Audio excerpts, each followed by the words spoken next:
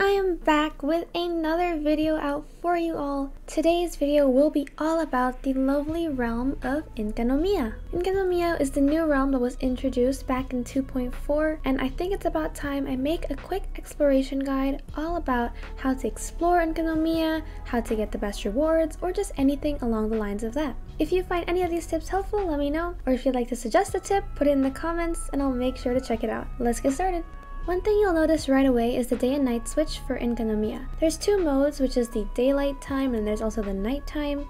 It has fancy names, but that's just how I like to identify it. But as you know, the main mechanism is right above this tower. Around the realm, there will be a bunch of switches for you to be able to switch to both types of day and night really easily. But a place that I like to go to often is right here in the Evernight Temple. The reason why is because one of the switches is right next to the teleport waypoint, so if I need to quickly switch to day or night, I can just teleport right here and then come over here and play the cutscene. And here we are in the darkness. If you want to mark the spot in your map, I highly recommend doing that. So if you ever need to come here really quickly, or if you need to switch to the different settings of the daytime and nighttime, and you don't know where to go, here is a really good spot for that because it's so close to the teleport waypoint and you just have to come here, switch back, and do what you need to do.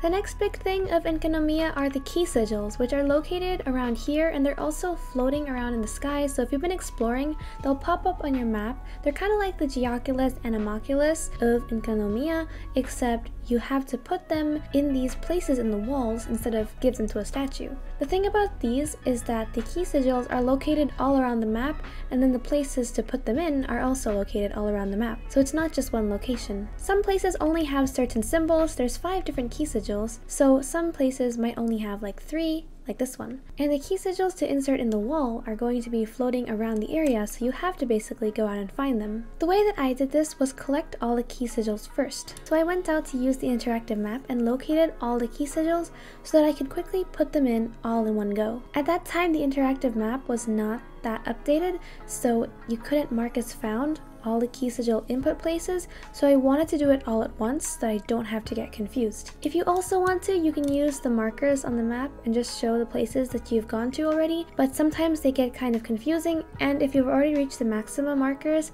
then it isn't always the best solution. You don't exactly have to do it the way I did because I went out and just found all the key sigils first and then put them in the wall right after, but I feel like that kind of increased my efficiency because I didn't have to go jump up and down all around to go find these. I could just find them all in one go and then put them in all in one go. The rewards are also pretty good, so if you want some easy Primogems, this is the way to do it. Now, Enkanomiya is one of the first realms with basically a bottomless pit, so traveling can be really difficult, especially if you don't have the right team for it, or if you need to get from a low spot to a high spot. Enkanomiya is all a bunch of different islands, and it's really hard to get to certain islands if you don't have like a pathway, so it's really difficult to get to those specific islands. But don't worry, because there are tips to have easier transportation all around Enkanomiya. These things are phase gates, and they're similar to like the Electroceles. Something like this is also located on Seirai Island, where you have to go through the gate when it's turning the right direction. But the thing about this is all you have to do is walk forward and you turn into a little Electrocele. This will directly take you to where you need to go and will automatically drop you off right there. If you want to jump or if you want to go out of the path in the middle, you have to just click jump and the jump button is right here. This is a quick way of transportation if you don't know how to get to a certain island. So look for the phase gates. They're also on the interactive map, so if you need those phase gate locations, check out the interactive map. The interactive map will be your best friend during exploration anytime because it gives you chest locations, challenge locations, or basically anything you need. Another big traveling tip that I have is using the gadget from the Inazuman reputation. This one allows you to glide faster through the air so you don't have to take up as much time. So let's say if I wanted to get to this island, all I had to do is activate the fan, which is in my inventory, and then fly right over. The duration of the red feather fan is pretty long, so you'll be able to drift from island to island. It'll also allow you to go to higher places because you spend less time in the air. I find this really helpful, not just for Enkanomiya, but basically anywhere where I need to do quick transportation, especially during commissions if I have to fly from certain places. Also, if you have any of those challenges where you need to beat the time, this helps too. If you haven't done your Inazuma reputation, I highly recommend doing it because the rewards are pretty good for it. An example of that would be this gadget. If at the time you didn't know what the gadget does, well, now you know, and it's great for gliding movement speed.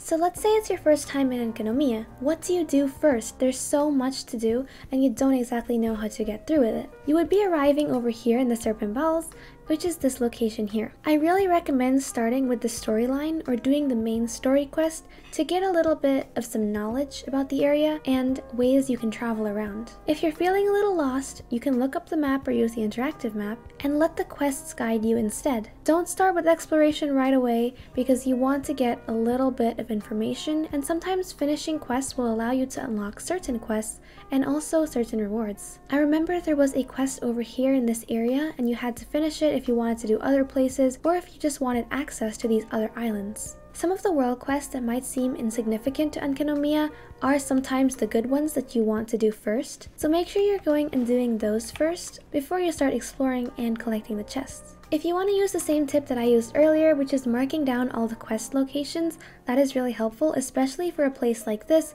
where it's easy to get lost. You might want to do the quest that allows you to unlock this boss because you might need the materials for it as well. Prioritize the storyline and quests before you go out and do your exploration. So if you haven't finished that Archon quest yet, or if you haven't done that world quest, make sure to do it first before you go out and say, I want 100% of Enkanomiya. Trust me, you'll thank me later. So let's say you've finished everything you need to do and now you're ready to explore. What kind of team is best for Enkanomiya? A lot of the enemies you'll be fighting are those new ones that were introduced in 2.4 as well, the ones that take away your energy. And also you'll be doing a lot of running around, gliding, and sprinting, so you want the best team for that. If you have Sayu or if you've built her, I really recommend using her because her elemental skill allows you to move a lot faster.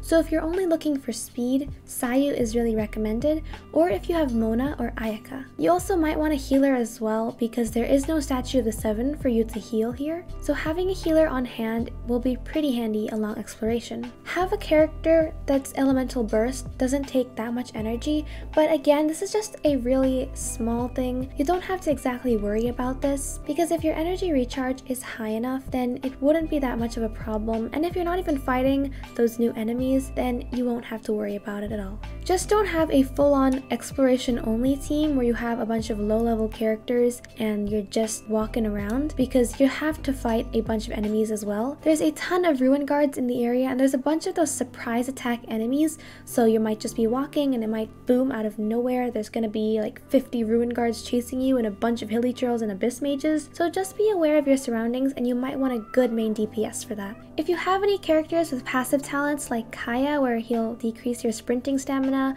or Venti or Amber. Use those characters because I'll know you'll do a lot of sprinting and gliding later on. This is my team that I use for running around. I have Rosaria for her passive, Kaeya for his passive, Mona for her sprint, and Sayu for her skill, and altogether this is a really good, fast exploration team. If you have Kazuha, he's really helpful as well too. So as I told you before, there's going to be a bunch of new mechanics to Enkanomiya, one being the day and night switch, but also some of the challenges or like the mini puzzles you have to solve. If at first you don't know how to do the mini puzzle, I don't blame you because I was kind of confused early on. The mini puzzles can be really confusing, and if you don't want to do them at that moment, or if you think they're really difficult, then just mark them on the map and move on. You can come back to the puzzle later, or you can look up a guide, but don't let the mini puzzles stop your exploration flow. Let's say you're doing really well and you're going through all these chests and you just stop at this puzzle that's taking forever and you just don't know how to solve it. Don't let that stop your exploration. Move on mark it for later, and come back to it when you've looked up a guide. Sometimes when I'm stuck, I might look up a guide for a certain puzzle, but then I might get distracted and forget that I'm playing Genshin altogether. It doesn't happen often, but trust me, it still happens to me. A lot of the puzzles are involving the day and night switch, so if you first like that cutscene where you have to look at that spinning triangle, you might end up hating it a little later on once you've had to look at it over a hundred times. My last tip to help with exploration is going to be splitting up your exploration with each island. I like to spend one day working on a certain part so I can just finish up the exploration for that area and then move on to the next one later. Instead of saying, first I'm going to get all the common chests in the area, then I'm going to get all the precious chests, it just doesn't really work that well and it might take up more of your time rather than just clear out one area, clear out the next area, and so on and so forth. So if you're in that certain area and you have the treasure compass, you might end up using that because it'll guide you to all the chest locations and you can get those first and then do the challenges and all the puzzles. I recommend doing that if you're looking for chests and doing challenges, but if you're doing the key sigils, I recommend doing the way that I showed earlier of just getting them all at first and then putting them in the wall. But if you're exploring in Enkanomiya, do it per island so that you don't have to keep moving around. And because these islands are kind of hard to navigate, especially in the Evernight Temple where there's just so much elevation, and it's really time consuming to climb all the walls and go back and forth to every single place, splitting up the islands will take up less of your time if you want to go through Enkanomiya a lot faster. So that is it for the Enkanomiya exploration guide. I hope you found some of these tips helpful. I know I rushed through it a lot, so there'll be timestamps in the description if you want to go back to a certain spot in the video. Also, it was recently my one year of Genshin anniversary, and I can't thank you enough for all being here on this amazing, amazing journey. So thank you all, you are all amazing, and I really love all the support. I read all of your comments, and it just makes me smile to see them every single day. So thank you again, and I hope to see you in our next video.